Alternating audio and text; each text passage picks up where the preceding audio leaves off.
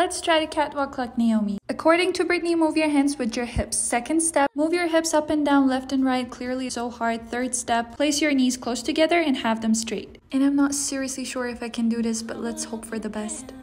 If you only believe.